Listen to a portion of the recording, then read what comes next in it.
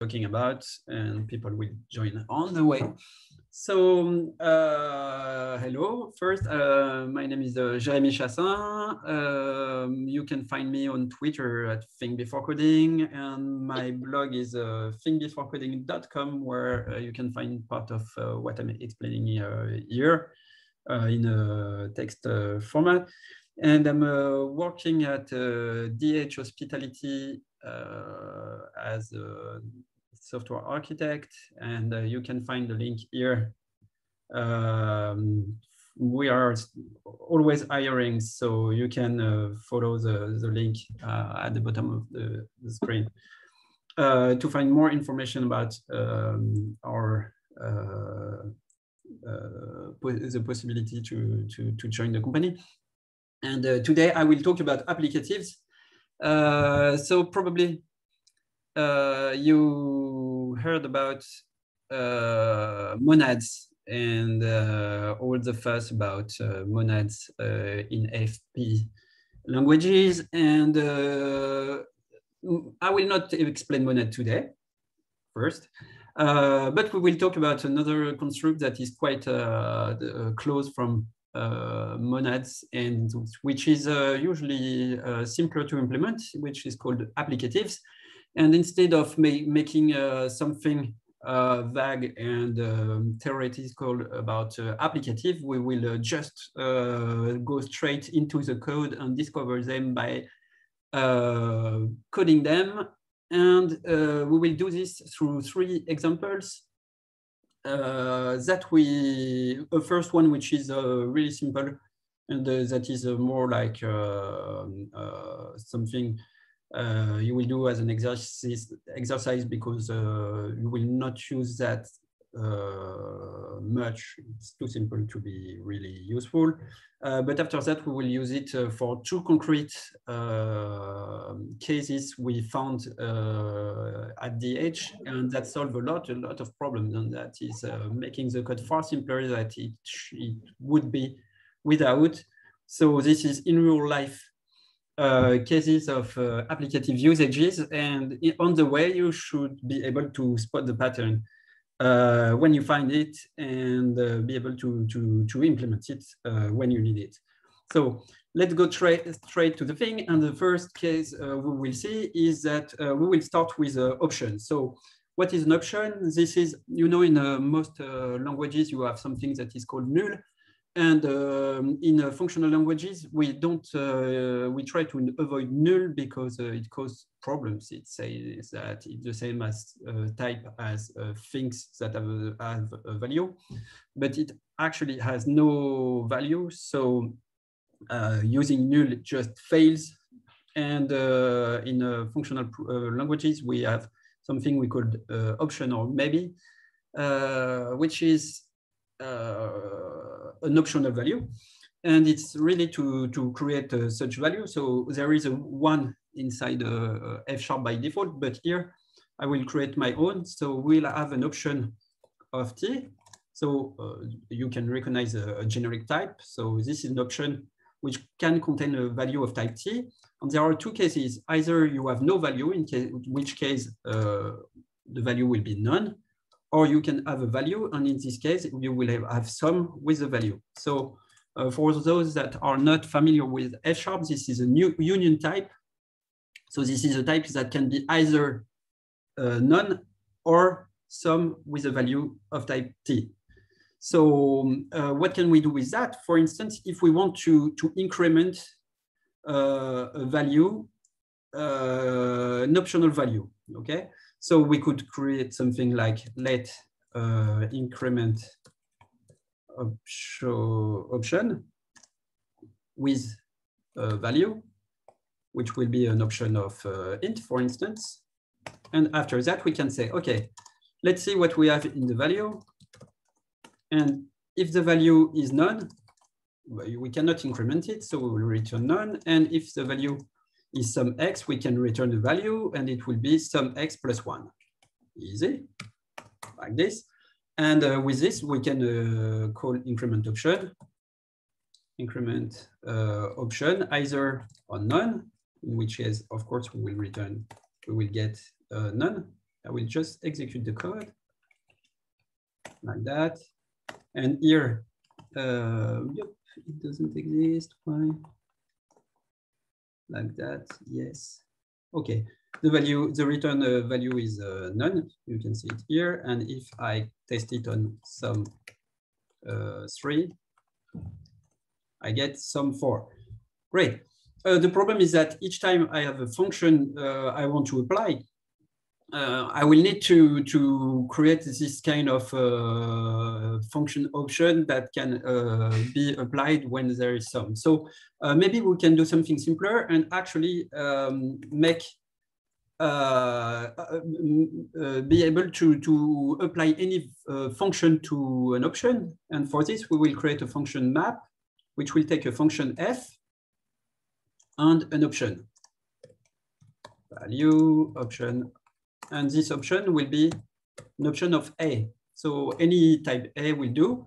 And of course, our function will have to, to be able to take a value of type A and we return value of type B. And we expect the result to be of type option of B. Okay, so how can we do this? We can do exactly like before. We match the input value with if this we have no value, we return no value. But if we have some value x, which will be of type A, we can apply f on it. This is a way to pass x to the function f, and we will create an option. So we just uh, say that we have a value some of x. And from here, as you can see, uh, we have a function that change an A to a B, we have an option of A and we get an option of B. This is really useful. And now, uh, if we have a function uh, increment, like uh, increment x, x is x plus one, we can just let increment uh, option, uh, we, I will call it uh, inc option, equal map inc. And this is cool. It takes an option of int and return an option of int where the value has been increment, uh, incremented by one. We can test it uh, directly like this. So I define my map, I define inc, I have inc option, and now I have this which takes some three and returns some four, but if I pass uh, none, like this, yep, like that, uh, I get none. So it's working perfectly. Actually, once you have implemented a map like this, uh, you just say that uh, your option is a functor, okay? So this is what you need, what uh, you need to make a functor. Great. Um, you, you've already seen this operation in, uh, in C Sharp, for instance, uh, when uh, you implement something like um, select. So when you have a select, this is exactly the same thing. You have uh, like a list dot select with a x, x plus one. The select is this operation, the map. Okay, so just a different name for the same operation. And uh, when you when you do this, you you, you have a functor. So that's really useful. But uh, the thing is that now, imagine I have uh, something more complex. I have a function, not an increment, but an add, which takes an x and a y, and uh, which add both. This is a trivial function, but now if uh, this function takes an, an int and an int and will return an int. But imagine that uh, we don't have an int and an int, but we get optional value like an option of int and an option of int. And now I want to add them together. If I have the values, I want to, to add them. So for this, I can define a, a map too. So I, I, could do something like add opt, uh, which take a X option and a Y option.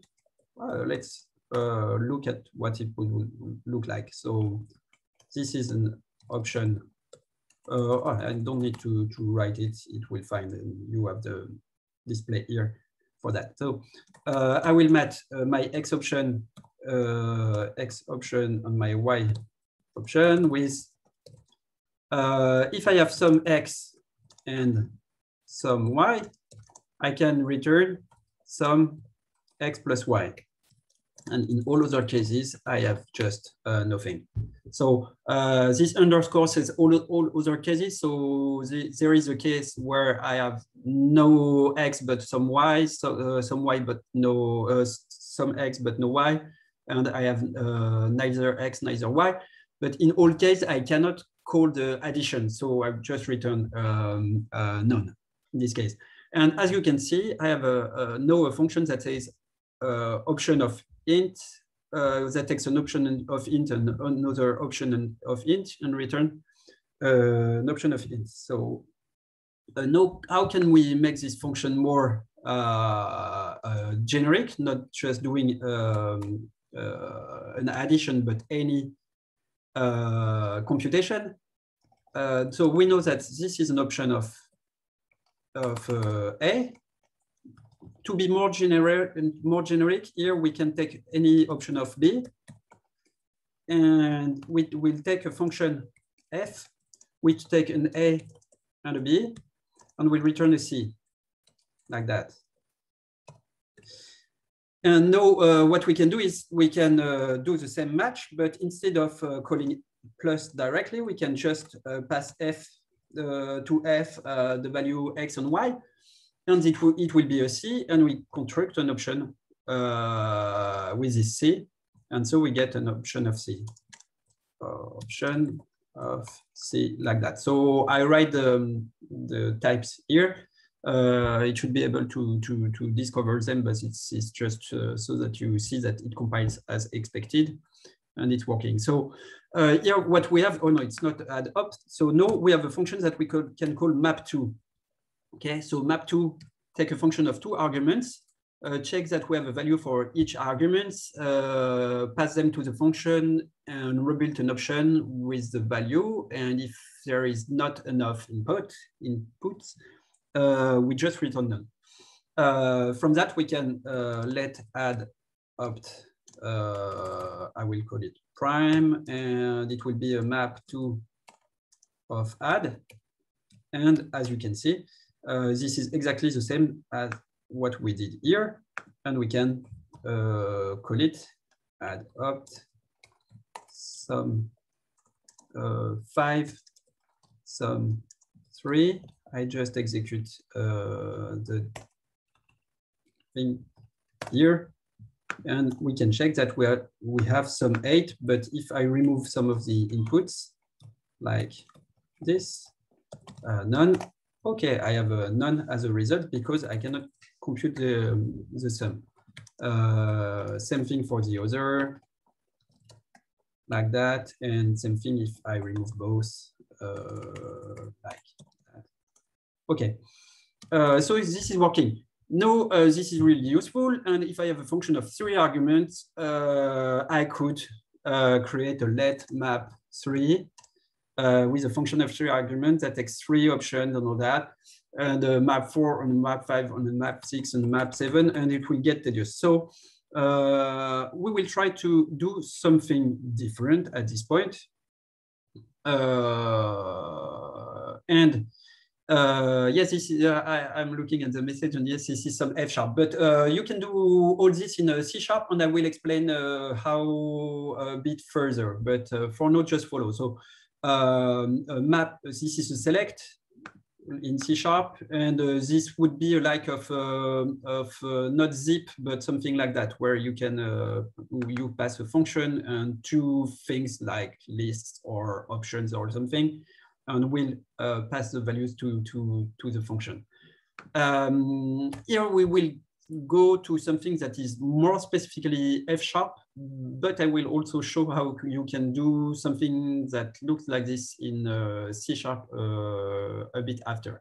So uh, what I do uh, here is that I don't want to write a map three, okay? And if I don't want to write a map three, I have to look at something a bit more precisely. As you can see here, add uh, is a function of two arguments, but it's written int, arrow, int, arrow, int. It, it's not written something like int, uh, int, uh, arrow, int. or it could be something like this in F sharp, but it's not like that. It's written like that. So what does it mean? You've seen that sometimes it's putting some parentheses around uh, some of the rows, but not here. What it means is that, it's that, is that actually the when you have a signature like this, oh, just to be uh, to avoid the problems later, I put it in uh, as a comment. But the thing is that what it means is that it means uh, this. So this is a function. So add is a function that takes an int and it returns a function that takes an int and returns an int. How is that? So let's look at add, add, okay, int, int, int. And if I do int one, it should actually from the signature return something. And yes, it returns uh, a function that takes an int and uh, returns an int. So what is this function? If you look at add with one at the position of x, this is actually something that says, okay, give me a y and I will do one plus y. So one plus y is actually inc, increment, okay? So now I have this function and I can test it. inc three is four. This is exactly what we wanted. So in, in F sharp, any function uh, is of uh, n arguments is actually a function of one argument that will return a function of uh, n minus one arguments, okay?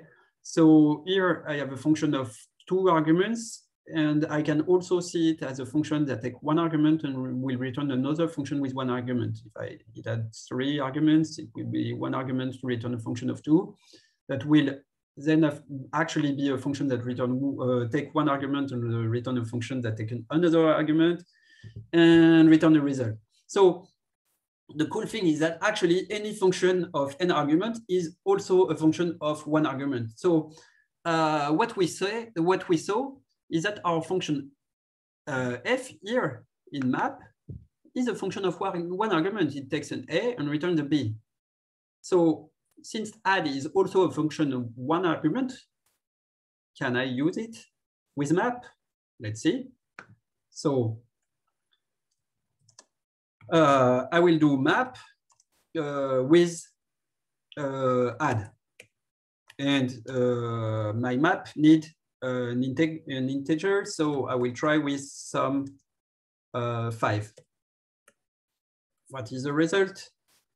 Ah, it's an option of int int. Let's write it. Let f uh, like that. Okay, this is a function. I don't know what I will do with that, but what, what you can do is that it says, um, okay, I, I give it some five on the function add, which is a function that takes one argument, an int, and a return a function. And I use map, and I get an option of functions of function. So actually, this uh, f prime here is either nothing or a function that when you pass it some value will add five to it. Okay, so this is a way to get something that can do nothing, is not there, or is a function that takes something and uh, add five to it. So uh, after that, the problem is how I can use this option of uh, int int. Okay. Uh, for instance, uh, if I want uh, to use this function on a value, I should first try to match f, f prime with none, in which case I can do nothing. And if I have some, I have some f and I can do something with it. So I can do some f and with the value, okay? Let's say we have, uh, we want to, to use uh, some uh, six with this, um, with this function. Uh, what, how can I uh, have an option of something and another option of something and use them together? I can use map2. Map2 is taking here uh, an option on an option. I will just pass my option uh, f prime here, pass my other uh, option some six here, and use the thing inside. there. So let's try map two. I will write something for my function. I don't know yet. And we will pass f prime here and here some six. Okay. Uh, what can I do with that? What do I get as a first argument? I get the thing inside f prime. And this thing is actually a function. So I, I will call it f. And uh, here I have some six. So what I will get uh, here is a six. So let's call it x. And I have a function here that takes an int and return an int. And here I have an int. What can I do? I can just pass the int to the f like that and uh, get the result. And the result is actually an option of int. Right, this is exactly what I wanted. So let's try. I have my f prime and my result is, is some 11, which is a result of the computation. So uh, what I see here is that I have a way to take an option of function on some option of value and pass the value to the function and get the result. We will call this apply. Let apply. So it will take uh, f option and uh, X option and say, okay, map two, I, pa I pass it here, I pass it there, and here I have, to, I have to do something. And what I will do is, I here I will get the F inside the F option, here I will get the X inside the X option, and uh, I will pass the X to the F.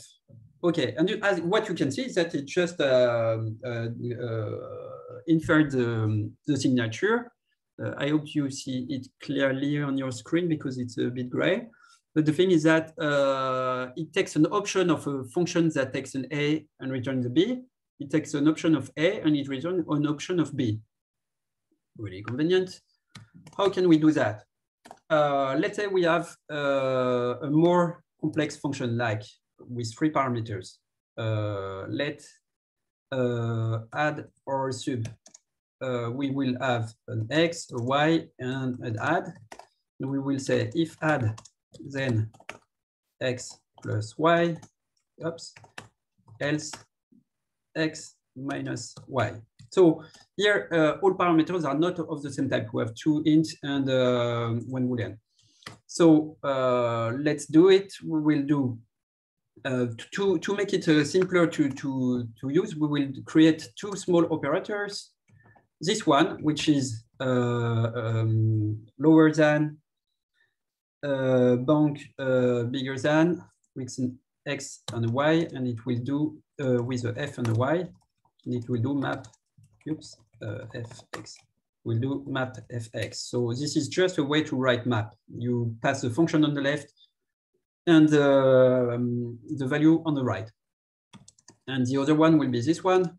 So uh, like this, okay, uh, with a star inside. And here we will get an option of uh, on an option of function on the left and an option of value on the right, and we will do apply uh, with both. Okay, so this is just my two function apply and map. And know what what I can do. I can say, okay, add uh, or sub, okay, like that. And I will try to apply this function uh, on options. So first thing I can do is uh, first use map to do what we did here to get the f prime. So uh, we have a, a, true function that takes, that takes an integer and some uh, some value that is an option. Yep, this is just so that you can see the, uh, the signature. And what, what I can will pass here, so is uh, some three, for instance, okay? And what I get now uh, by using map is an option of a function that takes the second parameter and the third parameters and return an int. So now we can uh, take this and actually use apply uh, to pass a second parameter and apply this function to this optional uh, function to this optional value. So uh, let's uh, some five. And now what we get is an option of a function that takes a Boolean and returns the int. So we'll do the same thing. And here we will return, uh, we will pass uh, some true. And now we have an option of int, right? Exactly what we wanted. Uh, oh, I didn't, didn't define apply yet. So like that. And when I compute this, I get some eight. But the cool thing is that now it works with optional so that it will also work like that, none, or some three, uh, some uh, five, and I will try with uh, false. Here, I get some minus two. This is what I expected. And here I have no Boolean because uh, I could not parse it from the input, for instance, and I get none. Okay. And I, I could uh, add uh, other parameter here. And if I add other parameter, just I have to, to put more stars like that. Okay. So as you can see, we can also write it on a single line. But the thing is that just uh, instead of passing parameters direct, directly, I put I've passed parameters separated by these uh, operations, okay? And it will just call this function with all these parameters after uh, also seeing if the value is there, okay? So the thing is that it enables me to take any function that never heard about uh, options and actually call it with uh, optional values, which is really cool and uh, I get an optional result, uh, of course. So uh, if, if you want to do this um, in, in C Sharp, of course, the first thing you will have to do is to create um, an extension method or method that is called select, okay? And uh, if it's an extension method, you will have, this is not a valid uh, F sharp, so I will do something like that. Uh, option of, of T uh, select, you will have a, this option of, this will be a T result. And here you will have a T and then a func of T to T result, which will be the projection like that. And what you will write is just uh, something like if option has value, return uh, an option with a value of uh, passing the thing, and uh, if it has no value, you return an, uh, an option with uh, no value, and it will be good. Uh, when you have this, uh, it enables you to write also something like you can either write x dot select x option x x plus one. This is a way to write the map with the increment. Uh, but you can also write something like this with using the linq syntax uh, from x in xo, uh, select uh, x plus one, okay? Actually, this thing is just rewritten exactly like that, okay? So uh, this is the basic functor structure, but if you want to do the apply to, um, not, normally you, you can write something uh, with the select many. But the problem with the select many is that the select many has been done, been done for monads. So you've used it probably with, um, with lists or, or uh, with um, SQL uh, server queries. But here it will not work. But still, uh, we can use it in a way uh, using the, the, the links, linq syntax like this. You can say from X in XO, from Y in y option. And then you can say select x plus y. How is this thing rewritten?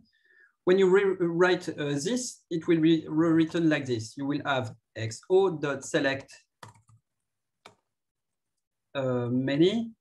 And uh, the first thing, so uh, the, this is a way to write uh, a static call to, to this because actually select many is um, is an extension method. And the first thing is will it will say, okay, I will give you an X, which is a thing that is inside XO, and uh, you will return me uh, YO. And then the other thing is that it will give, give um, uh, XO, it will give also, no, it will give an X and a Y like this and return X plus Y, okay? So uh, what you can do is implement select many by saying, okay, select many will return uh, option of T result. And this select, uh, I have a L here, many will take uh, this uh, option of T uh, X uh, source. Okay, let's try it. it has to be TX, TY, T result, like that. And the, the second parameters will be a function that takes a, a tx and uh, should return an option of uh, ty to be compatible with the signatures of, uh, of LINQ. Uh, and this is a, source selection selector. And then you will have a func that will take, I will go uh, to the next line. Check. And then you will have a function that takes a tx and a ty and return a t uh, result, uh, which will be uh, the result uh, func, like that. How you can use it? Uh, the way to use it is a bit Uh, hacky. Uh, the thing is that uh, normally you, you have the tx source but the problem is that to, to get the source selector, you will have to, to pass a value that is, is inside the, the, the other. And the thing is that we don't want to pass this. So uh, we can get the other source by calling the source selector, but we pass it a fake value default. Okay, this is the default value for, 40x. and actually it will be zero or something like that. But we will never use uh, the value of x here. So it's not a problem. When, once we've done that, uh, we can just use uh, what we said, like uh, if uh, source dot has value and uh, second source dot has value. okay, this is C sharp uh, check. And here uh, return a new option of uh, result func of source dot value, uh, the second source dot value, and uh, else, oops, I miss my here, else like that. Uh, return uh, option dot uh, empty, for instance. Okay. And here it will work for any expression of this kind. Okay. So now I can have any optional value. And uh, here, of course, of uh, t result, yep, because this is uh, C sharp on t result here. Okay. And uh, with that, you can write uh, any expression like that, and it will work uh, uh, uh, always. I don't know. So this is the end of the first part for options, and I will quickly get to the next. Is there some questions on what we just we've just seen before?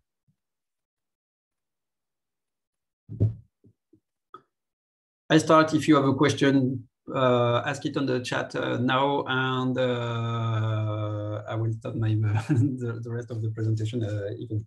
Okay, so here we saw that to implement the pattern, we created a map, we created a map to, we created an apply, and after that we could uh, pass um, option to any function uh, just by using the small operators, or in C Sharp you implement select and select many, and you will get the you will be able to use any function with um, with your your structure. So we will do exactly the same but on a different structure so that you see the pattern again So what, what we will do now is uh, to, to, we will work with a, a time series. Uh, it was inc option a functor. Uh, so this is uh, here. So um, uh, the, the, what, what we call a functor is actually a structure. Uh, here is the option of T, which defines the map operation, okay? Uh, when, when you have a, a structure that is uh, generic. So this is a limited uh, version of uh, functor. It's more complicated than that in uh, category theory, but applied to programming, the idea is that if you have a structure that is generic and that you can uh, create a map operation on it that respect composition of function you have a functor. What I call composition of function is that uh, you can, for instance, uh, if you have an increment and multiply by two, you can decide to map by the composition of the two functions, like increment multiplied by two, and then you, you call map uh, with a compound function, and it will give you the same result. Then if you uh, map uh, with increment and compose this with a map uh, with uh, uh, with the multiply by two. Okay, if just if it respect this, uh, you have a functor. Here, I didn't demonstrate that it was a functor with the composition on that, but you can try and you will see uh, quickly that it works. So, okay. So uh, when, when you have a function with map, this is a functor. And when you have a function with map two, uh, you can create then the apply, and when you have the apply, you get an applicative. That not more complicated than that. Just we will apply it to the second um, sample node. So the thing is that uh, at D-EDGE, we're working with um, with uh, with hotels uh, calendars, and they define their price uh, availabilities and all other things like open or closed and all that over time. So we have a lot of, uh, of uh, temporal values. So we have, uh, when, when we say uh, open, we don't say the hotel is open. We say with the hotel is open all these days from this date to this date, and then it's closed from this date to this date, okay? Uh, so we use a structure which called temporal, and temporal is a, a structure that contains values over time uh, periods. here I will do something that looks like temporal, but is just a bit uh, easier to and faster to implement, which is a series. And the series is just a type, okay, uh, which contains, uh, so it's a series, it's a generic type again, because it can contain uh, values of any type. And the thing is that um, a series will contain a first value of type T. This is the value that is uh, from the beginning. So if the, your series is constant, it will only have this value. And then we will have uh, we will have a list of uh, a list of uh, change. So we'll have that of change and the new value like that. And this is a list. So uh, for instance, I will uh, be able to uh, yes, open uh, system because I use that time and that. Uh, and my definition is not complete because I'm missing something. Yes, because it's uh, like that. Okay, cool. Uh, and the thing, uh, I will just uh, check, check, check, uh, take this series as an example. So here I have two series. Um, uh, one that uh, start at uh, the beginning of time with the value three and change to the value five on the 7th of uh, today, actually, on the 1st of April 2021. And then uh, take the value four, uh, starting at the 9, 9th of April 2021. And it's has this value uh, up to the end of time, or at least to the end of uh, that time. Uh, we have a second series here that is start with one and change on the 8th of April to the value two and uh, go back to value one uh, on the 9th, okay? So we will work with this kind of, uh, of values that are defined over time, and we will try to do some operation. So for instance, if we want to increment series, what does it mean? It means that we would like to, uh, for every period in time, uh, we would like to, to increment the value. So I can again define the inc uh, function that takes an, uh, an x and add one. And now I want to apply this function on x. Uh, here, immediately you can think about uh, doing it with a map. Okay, we could create a increment series, but we know directly that this kind of things can be actually a functor. And so we will just create a map. It will take an f, which converts an a to a b, and it will uh, take a series, uh, a series. So I, I will deconstruct uh, directly the thing. So I will have uh, initial value, we will call it a, and then we will have x's, uh, xi and x's. So this is the x initial values, and this, this is the values over time. And uh, this is a series of A. And what we want to get is a series of B. Okay. So uh, because uh, increment is keeping the same type, but for instance, if instead of uh, increment I have a two string, it will uh, I will have a function that takes an integer, an integer and return uh, a string, and I want uh, to take a series of integer and get a series of, of strings, for instance. So how can we write this? First thing, we will need to create a new series. And for the initial value, it's quite simple because we can just pass the value xi to f. So f of xi. And then here, uh, we need to, to apply the function f to the value on each period.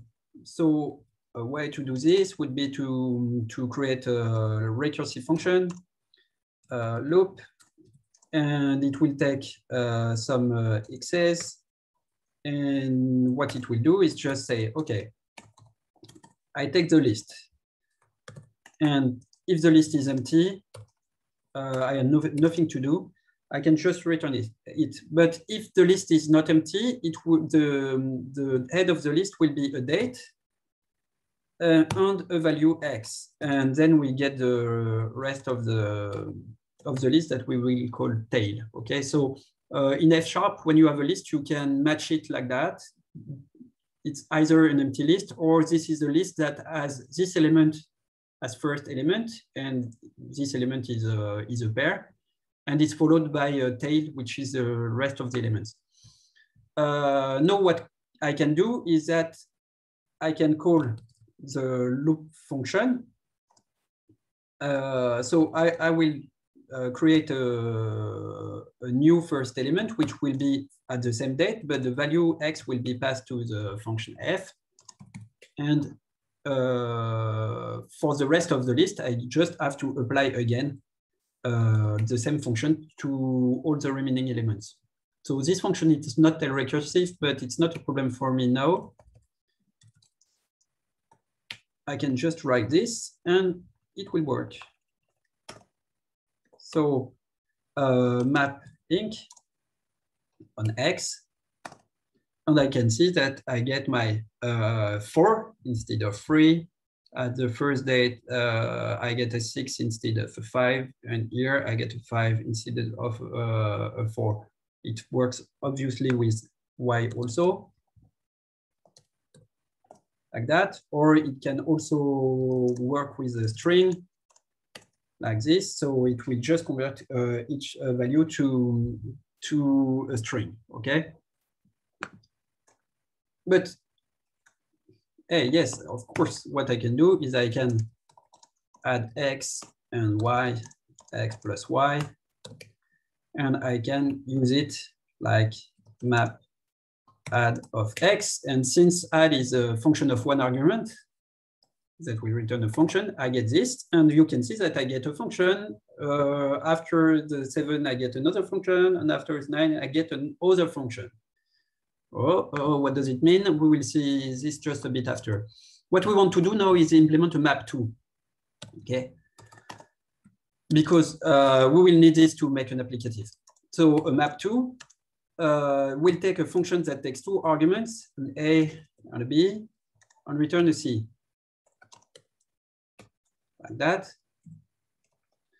And uh, we will take a series of uh, xi and xs, which is a series of uh, A, and we'll take a series yi and y's, uh, which is a series of B, and it will return a series of C.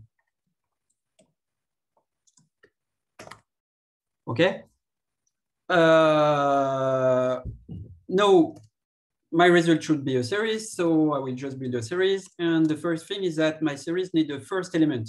Um, to build this first element, it's not very difficult. I have a function f, I have my first element. I can just call f with these two, these two values. So I take xi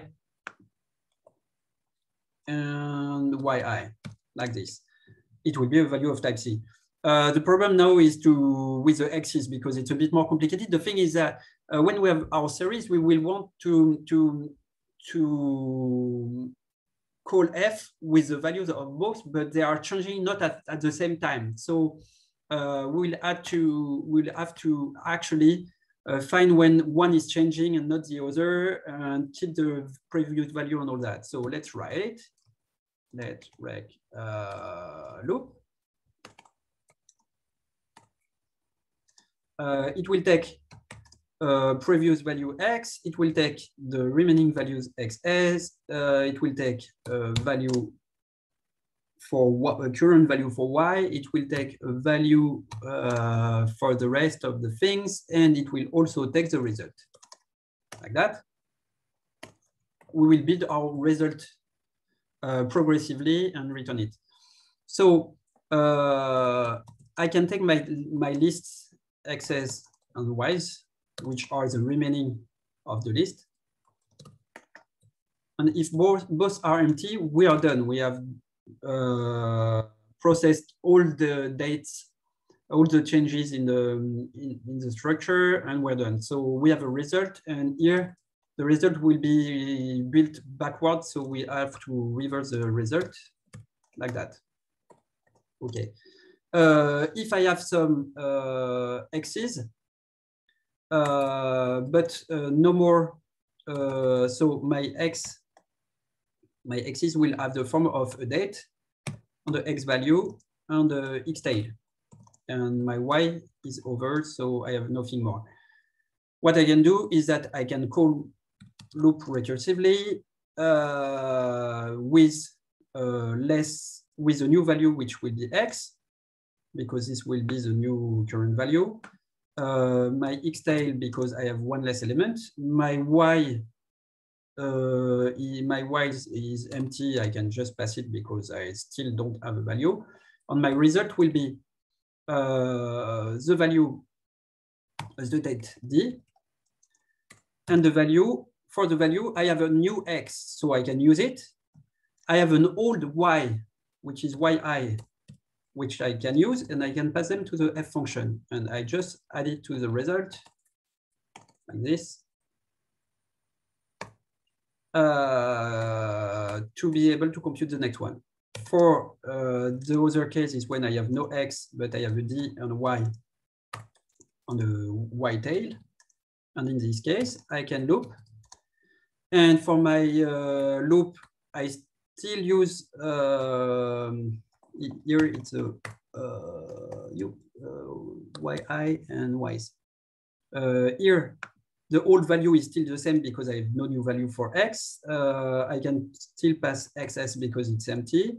And I have a new value for y that I will pass. I have uh, less value to pass for y because we just use the uh, one. And then my result will be the date D with my values, the old Y and my new uh, my old x and my new y here, and I can add it to the result. Okay.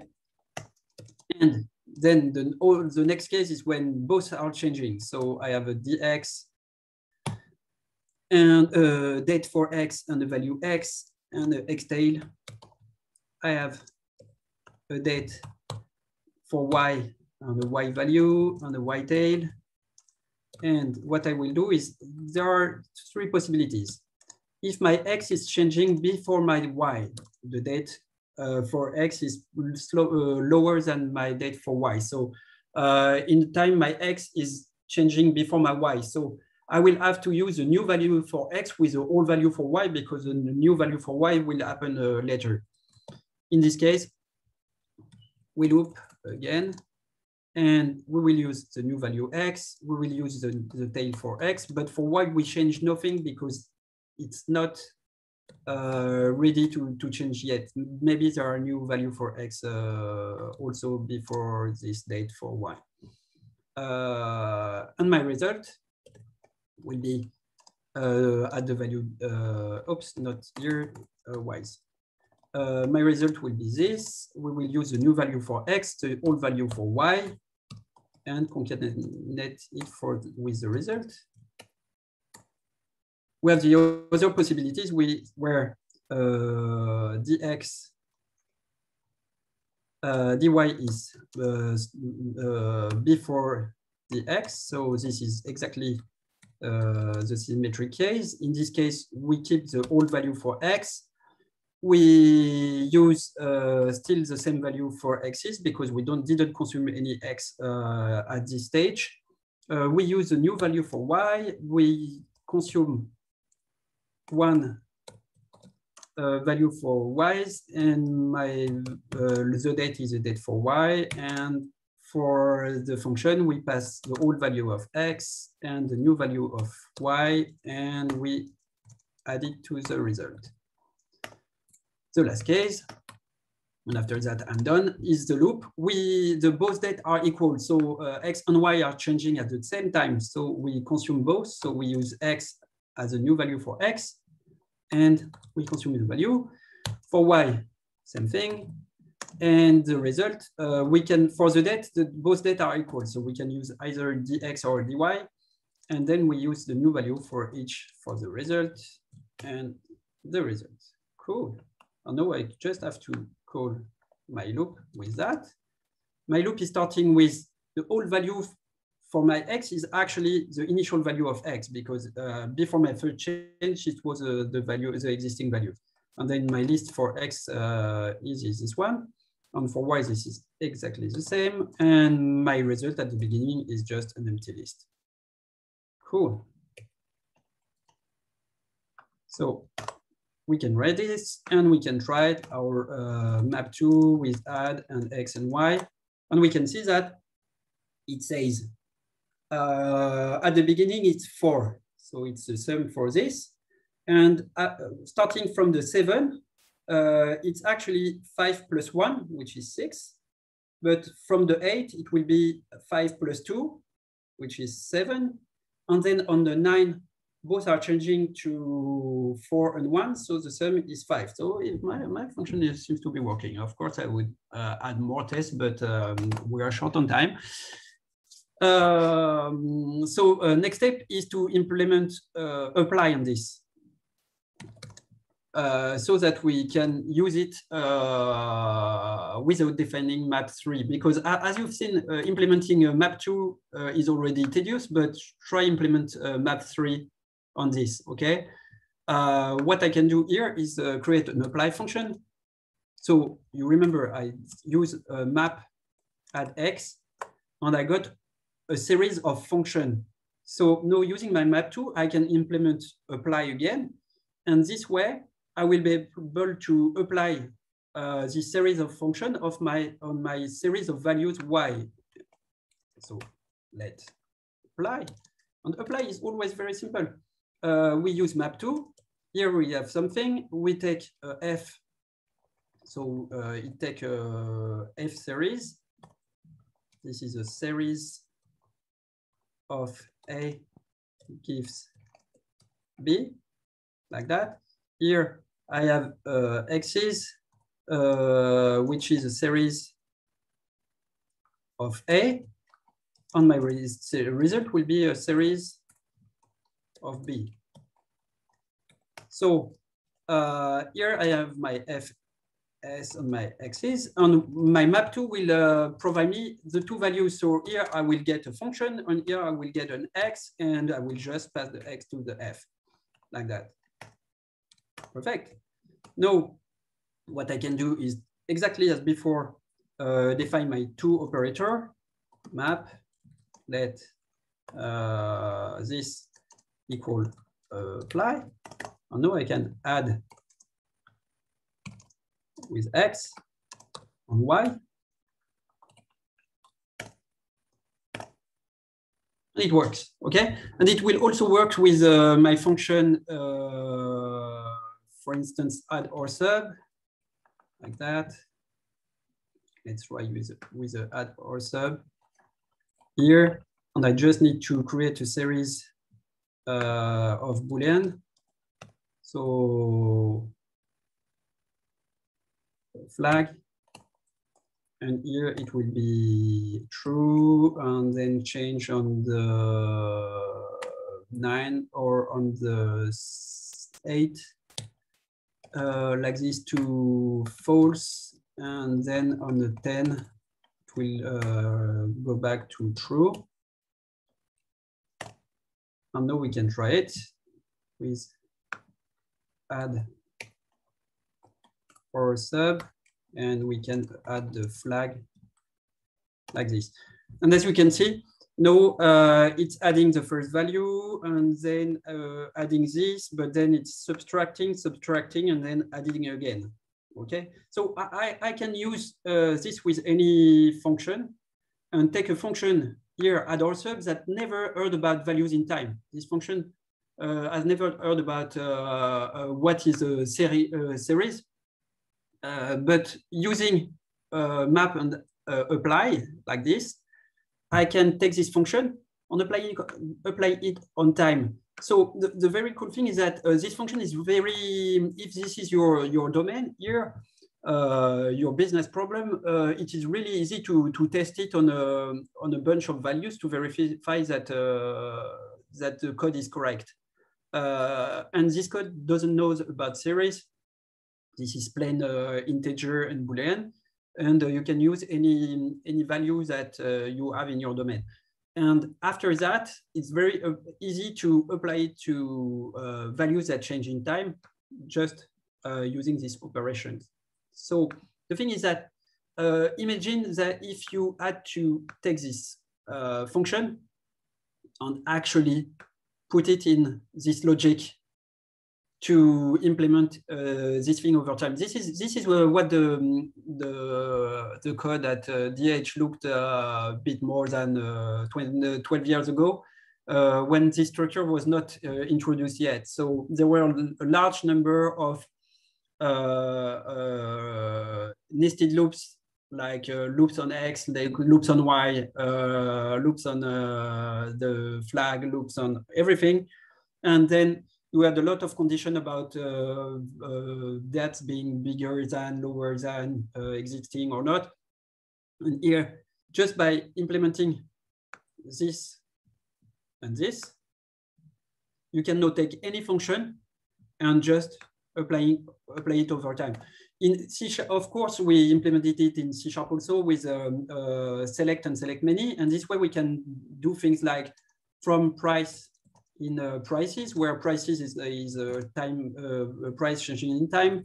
Uh, uh, no, this is from C sharp from uh, quantity in quantities, where quantity is changing in time from from closed in uh, okay closed uh, i have no no no I will call it like that, even if it's not correct English. And then select, uh, and then we can write something like uh, closed uh, zero, uh, and then uh, price multiplied by quantity. And of course, instead of uh, writing it directly here, I can also put this in a function that I can test and uh, just uh, do the from, from, from select uh, using the function. And this way I can uh, take any function that doesn't know about uh, values that change in time and for uh, very easy to, to read uh, code, uh, get it working on values that change in time. So I, I, think this is very, very, very important to see this kind of structure, especially here, where the things can get pretty messy if you don't. Uh, I will take just the time. I know that it's already late, so maybe if some of you have a function, I, have been longer because maybe of the C sharp explanation uh, if you have some function, ask them now, and then I will uh, show, uh, take more time to, to show the third example. Any function, uh, any other question? Yes, no? Uh, yes, you had a question from Dimitri. Yes. Uh, the question from Dimitri, no, ah, bind, apply. Uh, uh, okay, so um, uh, the thing is that for for uh, for series you can uh, create a map on an apply, but uh, writing a bind is not really meaningful. So so you can really not have a, a, a monad here. You will have only only an applicative and a functor uh, what would you recommend read watch ah okay uh, of complex data structure um, uh, the thing the thing is that uh, uh,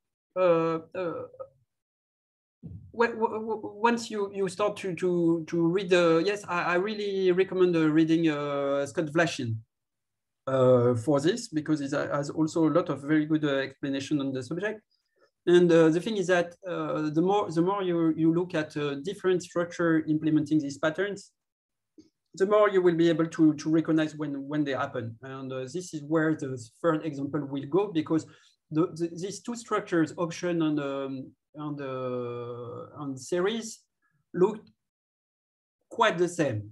In one case, we have only one value. In the other case, we have multiple values, but they are quite the same. You, you can also uh, implement a map and uh, apply it like this on uh, lists, for instance. And the way you will implement it on list is that we'll say that if you have list of the same length, you will apply your function on uh, elements that are at the same position in the in the list. So you know already in, um, you already have a map two for lists. So you can just use this map two to do what we did here uh, to create an applicative on uh, on lists, and it will apply the, your function uh, on elements that are uh, at the same position.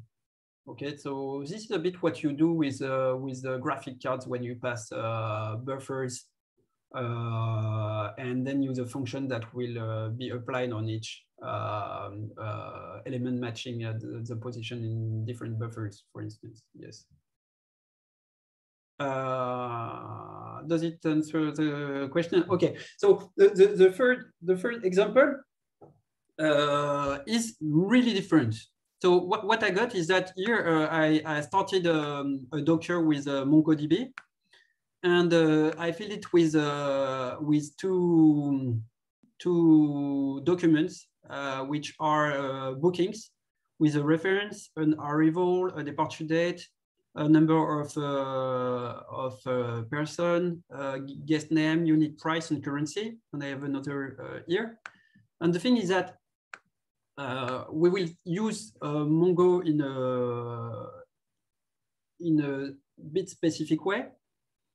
Uh, what I will do is that I don't need this, neither this, neither this. I will just remove that. Okay, I take, oh no, this is just here. Okay, yes, here. Check, perfect. So uh, the way,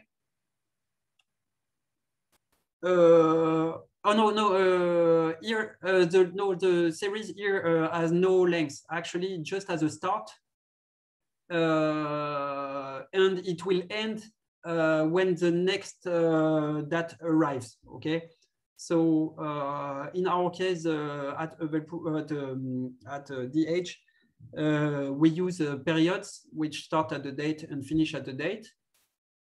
Uh, but here I choose the model where uh, we start at a date and finish uh, later. But both are possible, yes.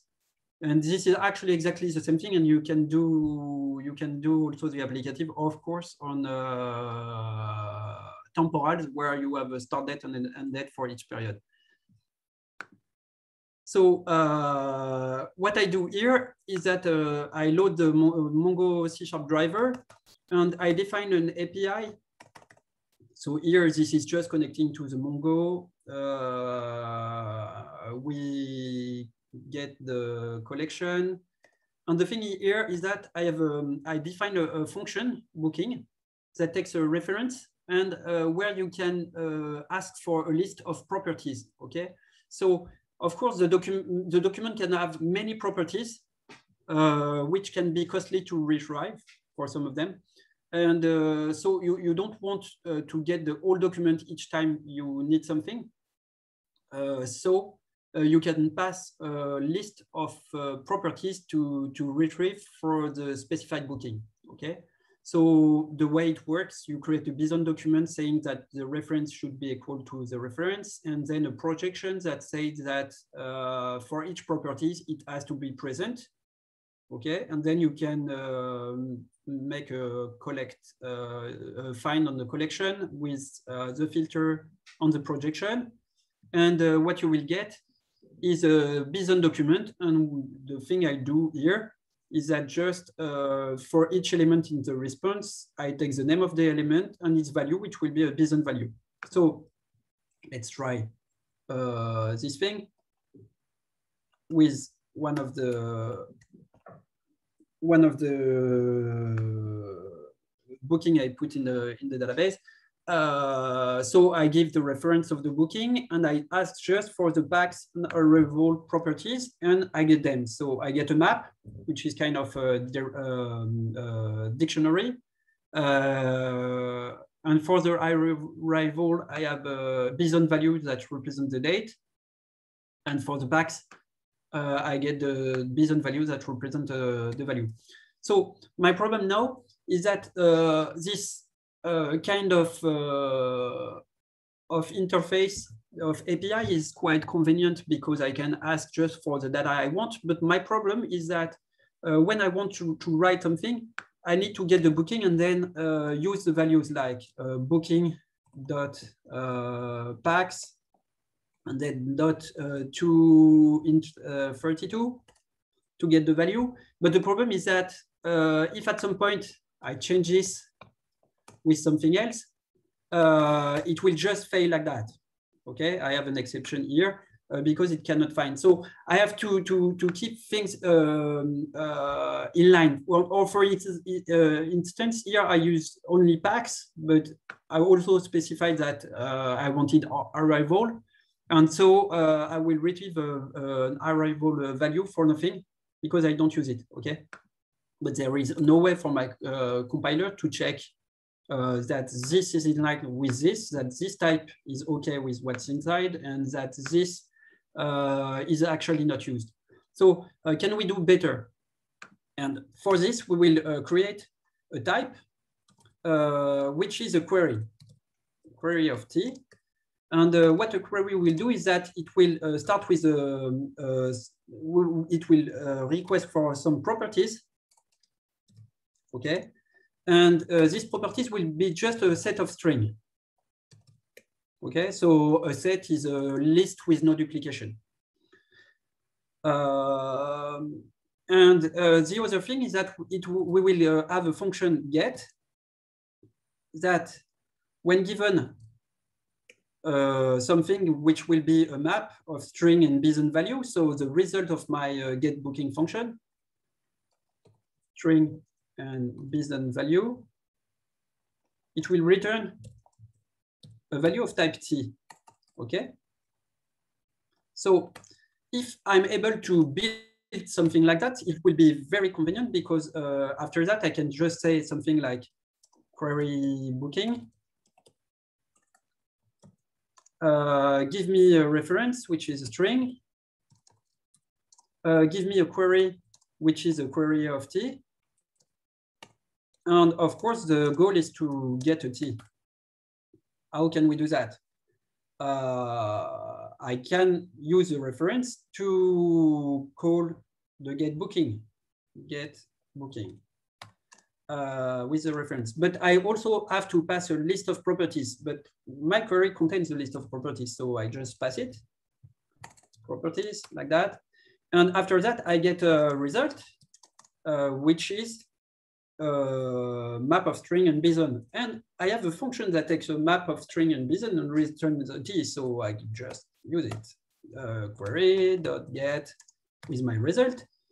And this thing is a t. So great. If I can build queries, I just pass my query booking and get a, a result, it would be very convenient. The simpler way to, to, to build a query is to create a function that is called prop that takes a name of property. And uh, what it will do is create a property, uh, a query, and uh, the property will, the properties list will actually just contain the name of the property. Okay, so prop is for property, of course, and name is the name of the property that you want. So uh, properties will be a set that contains only name, okay? And for the get, uh, it has to be a function uh, that takes the map, the result, okay? And it should return something from there. Uh, we know just because we, we what we want is actually get the property called name from the result. So just result and uh, with a name, okay? And this thing is a function that takes a string and returns a query of BSON value. So perfect. Let's create a like uh, let uh, pax equal prop pax. This is a query of BSON value. Let's try it. Uh, no, I didn't define the rest. So this way it's not working here. Okay, so let's try it with a query booking. Query booking, we can pass a reference. So I will pass the same reference and uh, give my pax query. And okay, it's not very like that, but the value is the BSON value of type uh, of value two, which is exactly what I want. So here, the thing is that I know by construction that PAX is asking for the PAX property and getting the PAX property from the result. And I don't have to specify it twice. So once that, that is written correctly, I know that it will work, okay? This is quite awesome. I can do the same for arrival. Oh, arrival. I can do the same for uh, reference.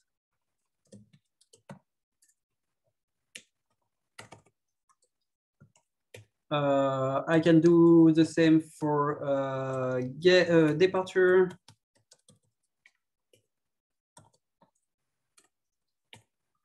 For guest.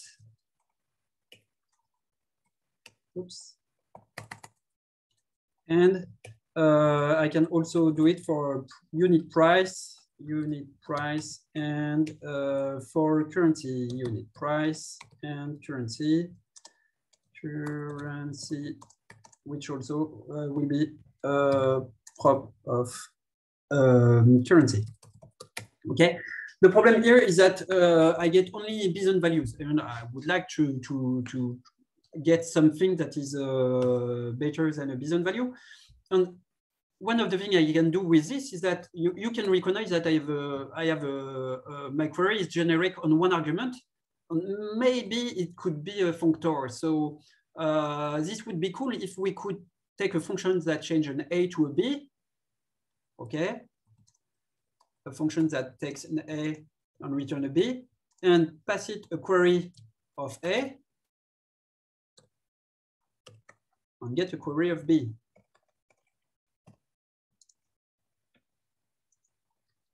because after that, what I could do is say, okay, if I have, a, a, for instance, for instance, a query of BSON value, and I have a function that can change a BSON value to an integer, I can get a query of integer, which will be better for, for what I want to do.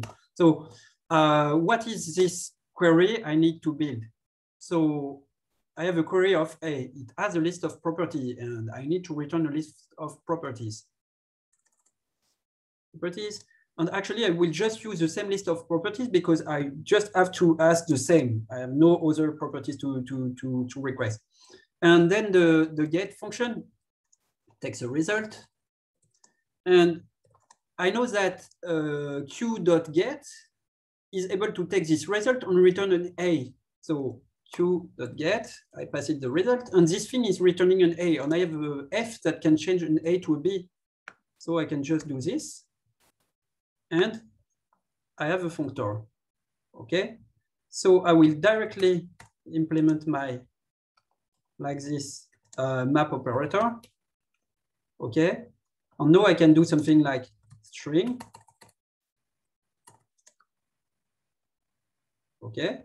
Or maybe, uh, maybe here it can also be good to do something because uh, it will, I don't know how the conversion are working, but I, I think it will be working. Uh, we will test string uh, map. So is it working? Reference. Uh, oh, I didn't uh, define my map uh, like that. But when I do this, uh, yes, it's working. Okay, so here probably I can also do int with map. And here uh, that time, I don't know if it will be able to, to cast. So maybe it will be easier to write it this way. Uh, map with a function that takes my value and will return v dot to that time to universal time. Yes, like that. Cool. Uh, here we do exactly the same. And here, uh, this is just a string. And here, this will be a decimal. And uh, here, I'm using also a string. Uh, this is a user code uh, string. Okay. No, uh, of course, I can ask for unit price. And uh, it's not able to cast it. So maybe something here I would need to uh, cast it differently.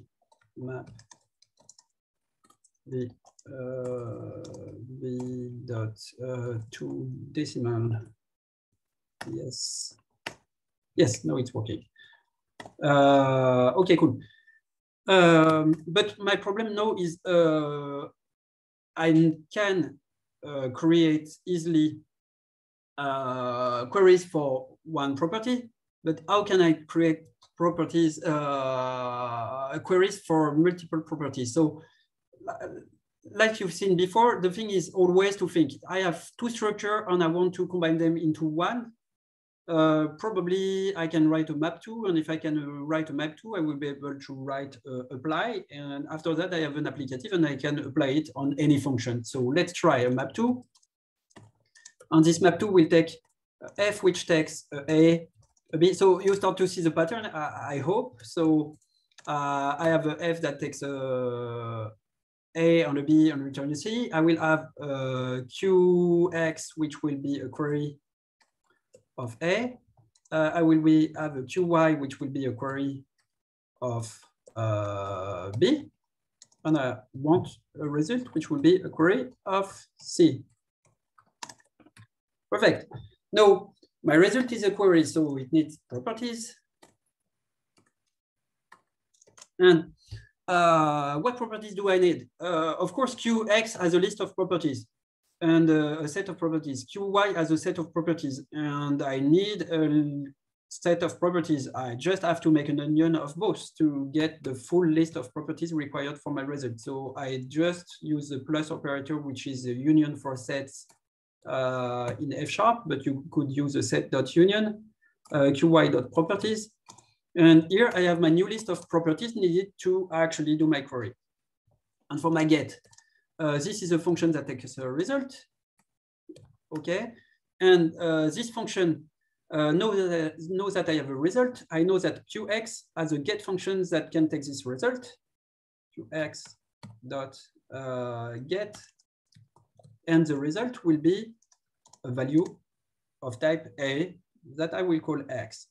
I can do exactly the same thing for Y, to Y dot get, and I will get a, a value of type, um, I will get a value of type B.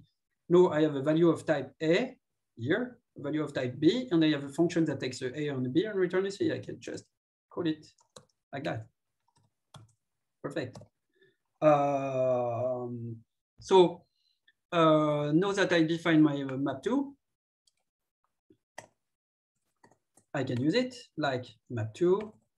And uh, what can we do like an operation? For instance, uh, I want to uh, take the number of nights and the guests and uh, write a string with the guest name and the number of, uh, no, no, the number of uh, pax, it would be simpler. Okay, so guest and pax, and it will return uh, uh, person, it's uh, guest uh, person, uh, I call it pax like that. Uh, yes, okay. And so uh, this is a function that takes a string and an integer. Uh, why doesn't it see that uh, my integer? Uh, it should work. Um, and then the thing is that uh, I will pass here my query for the guest. So this is a guest query here, okay? And I will pass my pax here. This is a pax query. And uh, this should be a query.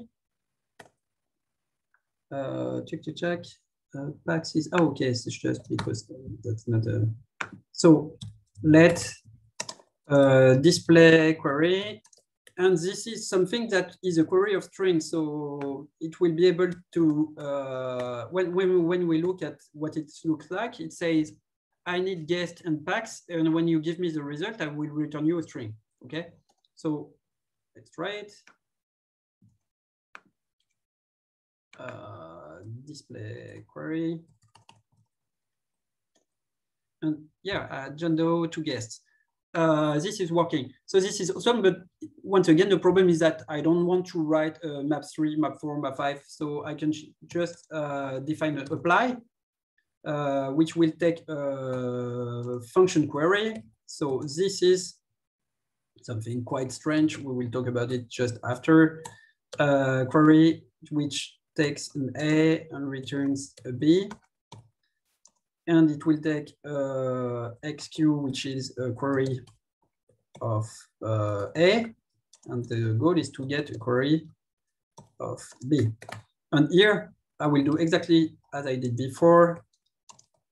I have my function query, I have my X query, and I will get on the left an F, on the right an X, and I will pass my X to F, like this uh, yes, it's a F query like that, sorry. Uh, and now uh, I can define my apply operator like that. And uh, now I can uh, replace uh, this, my display query, by something that, that looks like uh, let's uh, display query equal. And here uh, we will um, do something uh, like uh, arrival, departure. I will just uh, specify that it's that time.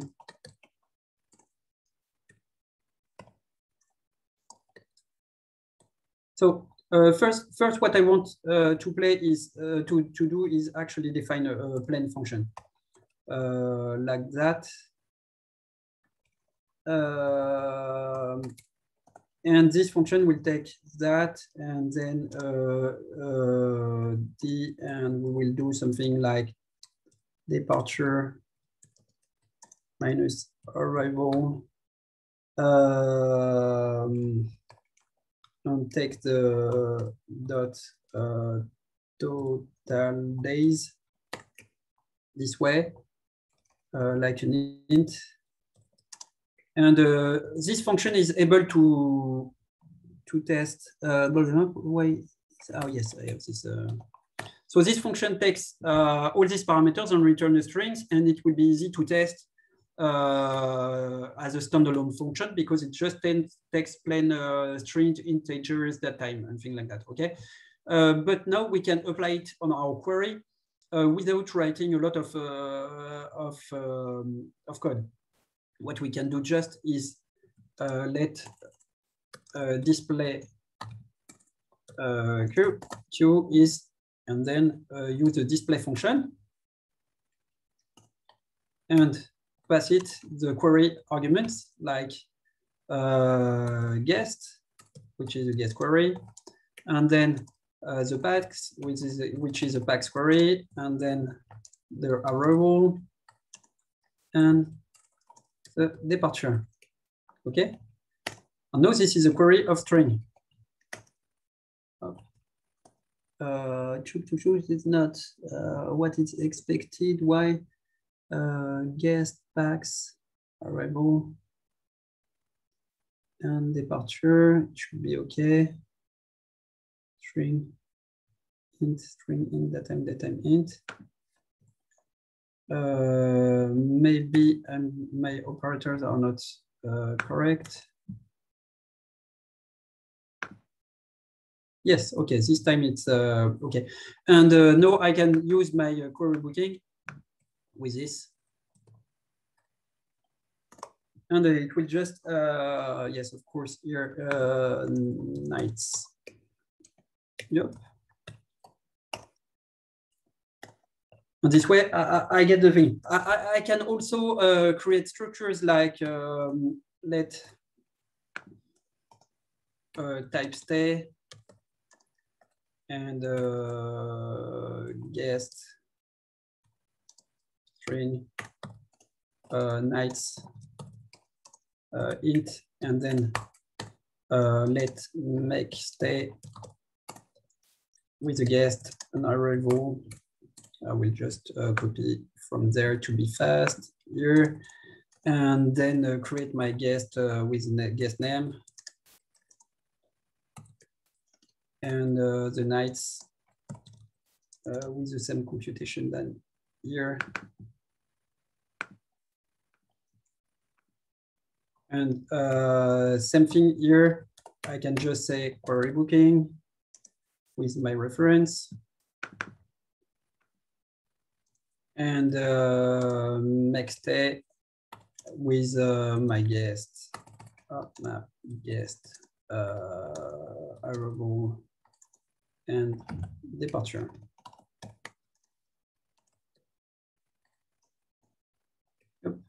Course, I didn't define it yet. And here I get it. So the, the thing is, no, uh, there is no risk for me to to to to to break it because uh, as long as uh, these um, uh, queries are correct, I can just uh, combine them in a single one using any function I want. Okay, so uh, this is a lot of this is a, some code that will be really hard to break. And uh, of course, you can do the same in uh, C Sharp, uh, like uh, from you define map on the, on the select many using the map tool. And then you will be able to do something like from G in guest, where guest is your query, from arrival in arrival, and then from uh, departure in uh, departure and then uh, select with a new uh, guest equal uh, j and etc etc so uh, this way, before that, you had a lot of code like uh, combine the, make, make the list of the thing you, you need and then extract all the values. no, it's just uh, like a very simple API that you, yeah, that you can use in your code. So um, uh, once you start to, to see this pattern where you, you are able to write a map to that will take two structures and combine them inside a single structures using a function, you can write the applicative and get this uh, writing uh, for C sharp or this one for uh, F sharp, Haskell and all that. And uh, yes, it, it will uh, make the code uh, simpler to, to apprehend for the teams. Just make a small documentation to explain that it exists and people will use it extensively and it will be far easier and less buggy because uh, for instance, as I showed with the, um, with the series, uh, writing this can be quite messy. If you have to rewrite it uh, all the time, you will get a lot of bugs. while testing it once uh, with um, some test and then using it is uh, far more um, uh, safe. So this is the end of the presentation.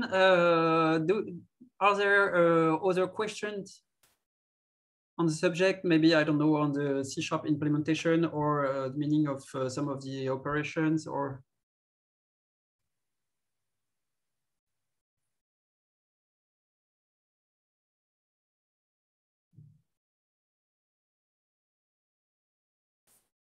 No questions? Okay, don't, um, anyway, if, if you have a, any question, don't don't uh, hesitate to to drop uh, on uh, Twitter or ask them on the meetup page. Uh, and I'd be happy to to to give you more uh, information on, on, this. Maybe uh, if you have other structures that you you think are um, using this pattern and you don't know know how to to implement it, I would be happy to to discuss this.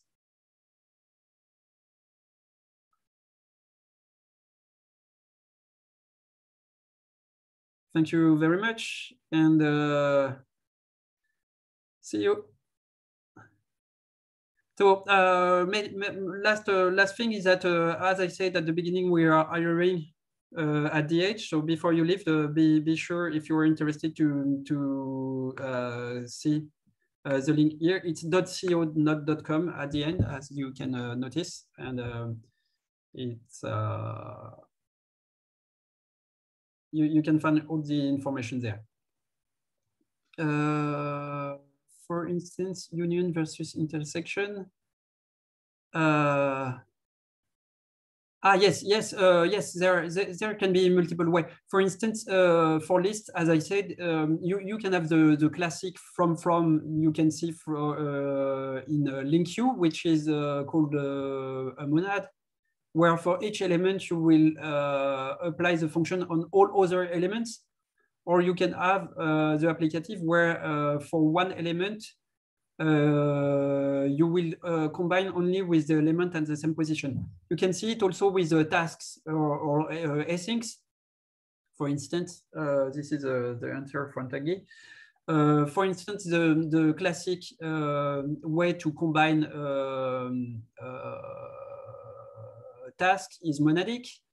Uh, the thing is that you, you wait for the first task, uh, the first uh, task to end to get a value and then uh, use this value to compute the next task.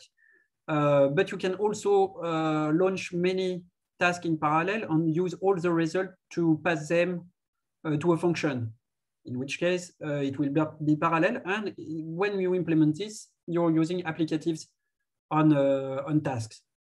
So uh, you, it's uh, this is a, a, pattern that you can find in a, in a lot of places.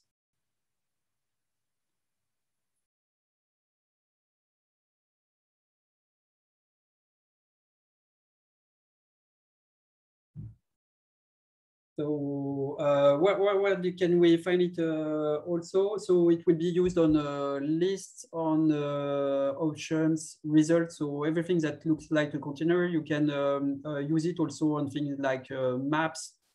you can use it on queries, as we've seen, on temporal values, on task asyncs. Uh, this is mostly the place where I've seen it used uh, for now, but uh, uh, both the series temporal things and the queries, I've never seen this use. Oh, of course, you can also use with it with parsers. so that you say when I match uh, when the, the parser match values on this and this, uh, combine the results uh, as a parser for this type of result.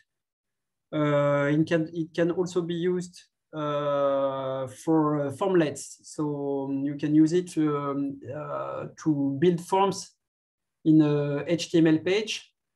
a formlet is providing the, the input for value of type T.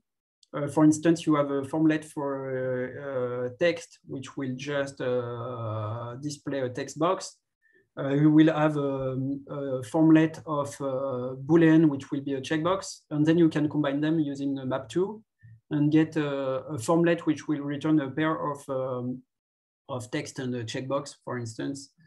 And uh, then you can compose as, as uh, much as you want to big, uh, bigger formlets. This is also an applicative in your own life.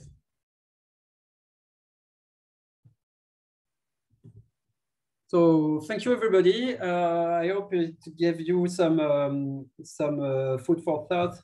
Uh, and see you soon for our next installment of the D-EDGE Tech Meetup. Goodbye.